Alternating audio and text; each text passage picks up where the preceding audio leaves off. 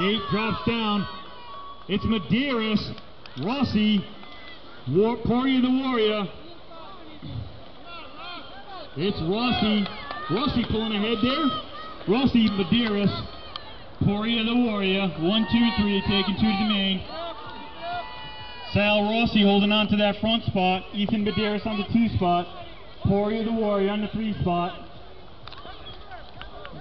Final straight. And it looks like Sal Rossi will transfer out, followed by Ethan Medeiros, both transferring out. And on the backside, Poirier the Warrior.